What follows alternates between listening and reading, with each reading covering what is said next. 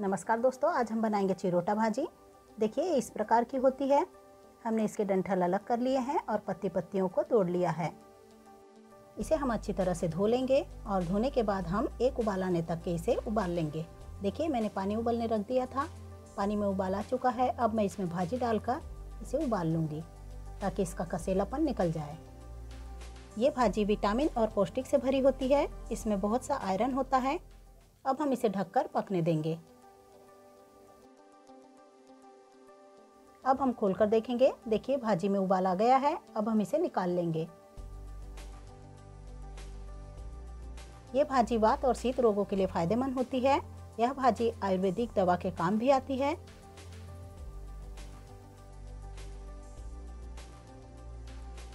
अब हम इसे ठंडे पानी से धुल लेंगे और इसका सारा पानी निकाल लेंगे।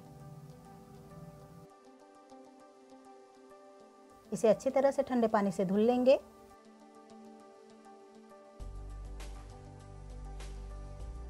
अब हम इसका सारा पानी निकाल लेंगे। इसके लिए मैंने एक बड़ा सा छन्ना लिया है। अब हम कढ़ाई में दो बड़े चम्मच तेल डालेंगे और इसमें आधा छोटा चम्मच जीरा डालेंगे। मैंने यहाँ गैस का फ्लेम लो टू मीडियम रखा है। अब हम इसमें कटे हुए चार प्याज डालेंगे और इसे अच्छी तरह से भून लेंगे।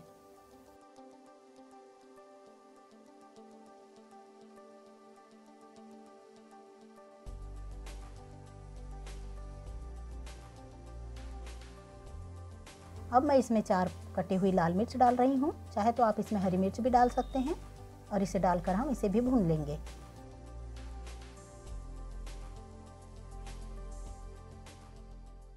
अब इसमें कटे हुए तीन टमाटर डालेंगे। आधा चम्मच हल्दी पाउडर,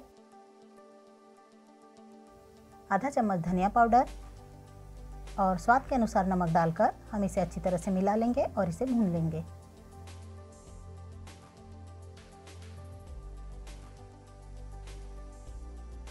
अब हम इसे ढककर एक से दो मिनट के लिए पकने देंगे ताकि टमाटर अच्छी तरह से पक जाए।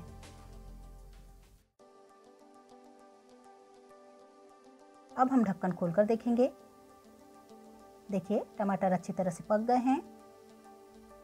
अब हम इसमें चम्मच चला लेंगे और इसमें हम भाजी डाल देंगे।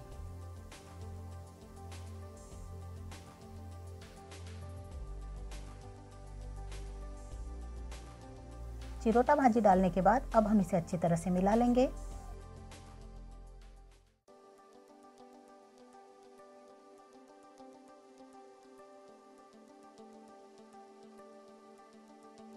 देखिए, भाजी को हम अच्छी तरह से मिला लिए हैं। अब हम इसे ढककर कम आँच पर पाँच मिनट के लिए भुनने देंगे। अब हम खोलकर देखेंगे। देखिए, भाजी अच्छी तरह से पक गई है। अब हम इसे एक से दो मिनट के लिए ऐसे ही पकने देंगे। देखिए, भाजी अच्छी तरह से पक गई है और बनकर तैयार है। अब हम इसे सर्व कर लेंगे।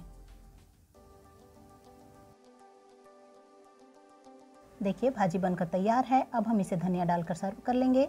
यदि मेरी रेसिपी आपको अच्छी लगे तो मेरे चैनल को सब्सक्राइब कीजिए। धन्यवाद।